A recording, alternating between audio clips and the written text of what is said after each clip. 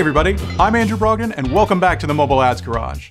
Today, with the help of my partner, Gary the Graphics Guy, I'm going to talk about AdMob and Google Analytics for Firebase.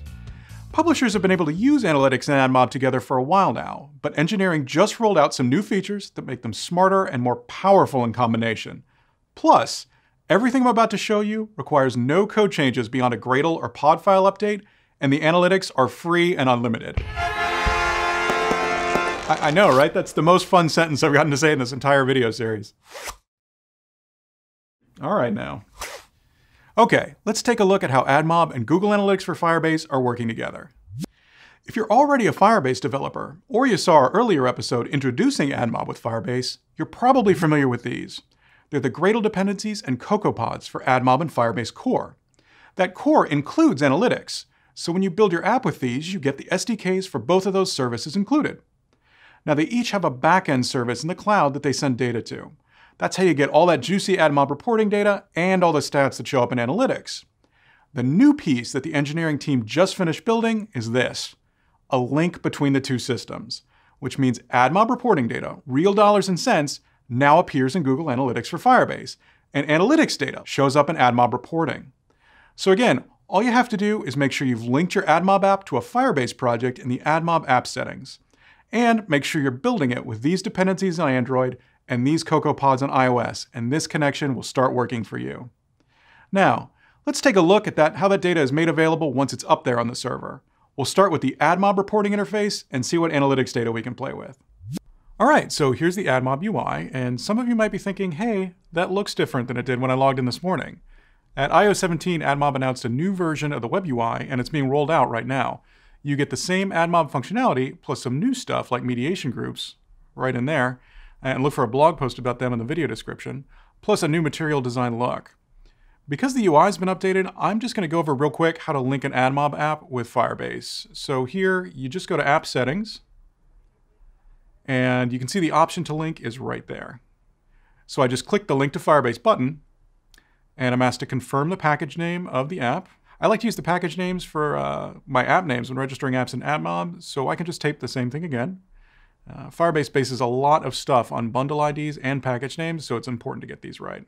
Now, AdMob's checked my Firebase account and given me the option to connect with an existing project or start a new one. And I'm going to start a new one. So I type in a name for my new Firebase project, click continue, and I'm linked up. So again, all that's really required here is to use the Gradle and CocoaPod dependencies you just saw and link your app. Uh, do make sure that when you do the link, you don't forget to grab the configuration file right there uh, and drop it into your project as well. Check our Firebase Quick Start, and there's a link for that in the description for more details on what's in that file. Okay, so let's say it's a week after I release my new version with analytics compiled in, and I come back to the AdMob UI. What new things can I see? So there's two big ones, and they're right here on this screen, the revenue card and user metrics. I like revenue, so let's check that one out first and zoom in. Cool. So first, you get a straight bar chart that shows you the revenue generated by your app, which doesn't seem like much, but notice these categories down here. That's not just ad revenue. By hooking into Firebase, AdMob is able to give you the big picture, including all the ways you're earning.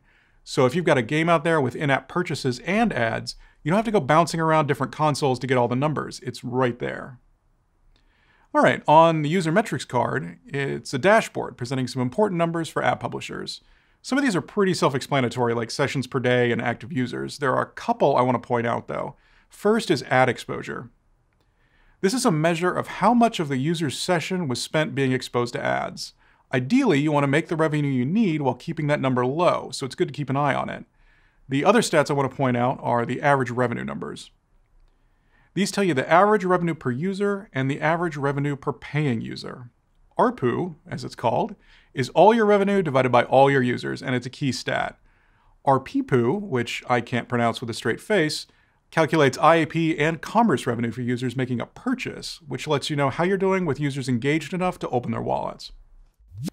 So that's AdMob reporting, which gives you the same kind of information you're used to getting, but with new intelligence from Google Analytics for Firebase. Now let's take a look at the Analytics console and see how AdMob data makes an impact there. So here we are in the Firebase console in the Analytics section, and I'm going to scroll right down and zoom into the first thing I want to show you, which is LTV, or lifetime value. There we go. Previously, this value did not include AdMob ad revenue, but after the link up between systems, it does. So this number can now tell you how much total revenue from ads and purchases you're averaging per user.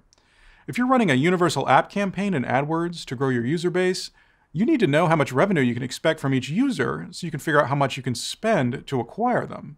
And with AdMob data included, you've now got a complete value.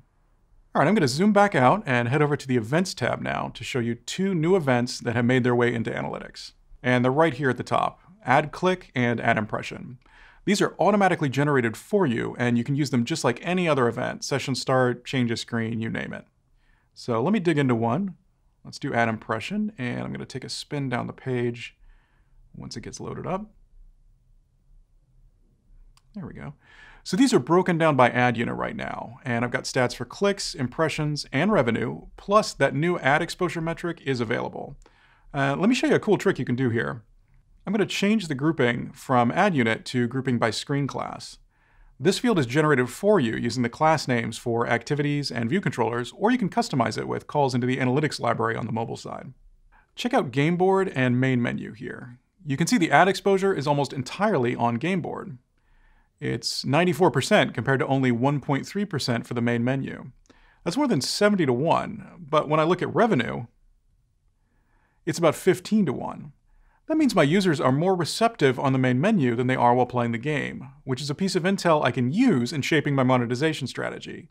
Maybe I want to try removing ads on the game board and using something like an interstitial that appears between actions. Or maybe I want to try a richer format like native in the main menu, see if I can push engagement even higher there. The idea here is that analytics gives you actionable intelligence on your users that you can really put to work. All right, I'm going to pop back out to the list of events now. And I just want to mention that once you've got analytics in your app, you can start extending it for a custom solution.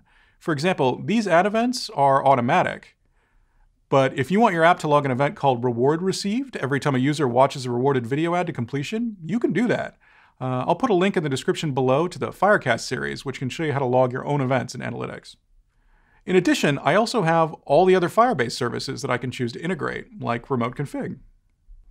For example, I can make a custom audience based on my events and send different configurations down to the device based on that. I could create a reward received event, like we just talked about, make an audience of those users who've experienced it, and then use Remote Config to turn off all the other ad formats in the app and focus on rewarded video. Uh, you'd have to spend a day or two in mobile code to make that happen, but it's there if you want it. Similarly, if I have a subset of my users that spend a lot on in-app purchases, maybe I'd prefer to show them a house ad campaign for my other apps instead of normal AdMob ads. I could use remote config to send down different ad units based on audience, and then use them to make my ad requests. There's just a ton you can play with here now that all this information is in one place. So that's it for today. Before you go though, I've got some resources for you. If you look down in the description, you'll see links to the AdMob with Firebase Quick Start guides for Android and iOS plus a Help Center article that covers how to link an AdMob app with a Firebase project in case you haven't done that step. You'll also find a link to our SDK forum where you're welcome to bring any technical questions you have. And if you've got a question about this series or an idea for something you'd like us to cover, leave a comment below and Gary and I will see you next time.